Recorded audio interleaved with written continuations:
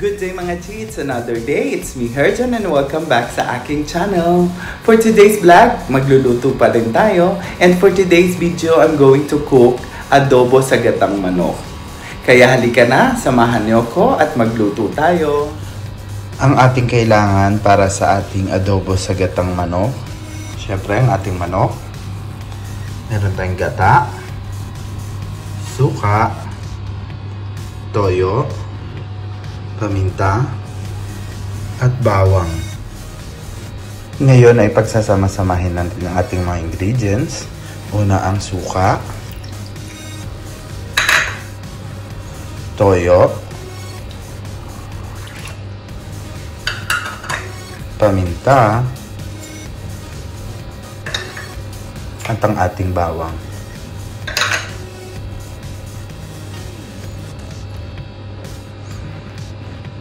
And then, pakukulaan lang natin siya. Later on, igigisa natin siya ulit. Kumukulo na ang ating manok. Para sa unang step, i-adobo muna natin siya sa suka at toyo.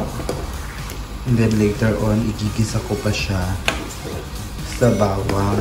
And then saka natin ilalagay yung pinagpakuluan dito at saka yung ating gata.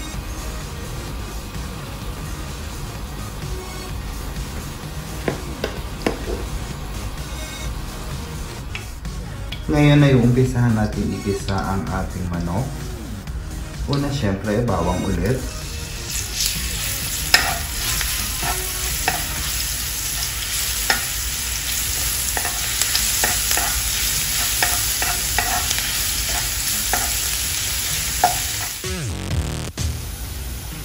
And then ilalagay natin ang ating manok para igisa.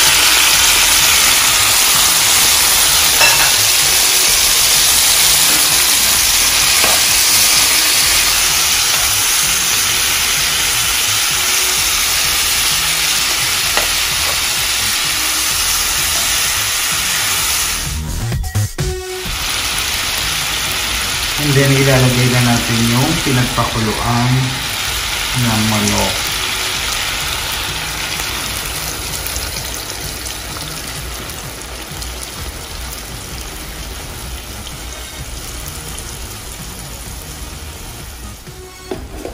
Antayin lang natin medyo matuyo-tuyo ang ating sabaw bago natin ilagay ang coconut milk.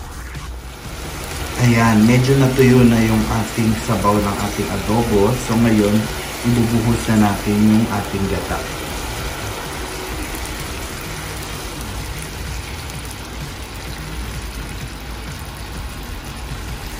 Hintayin lang natin siyang kumulo at medyo matuyo ulit para medyo creamy yung ating adobo sa gata.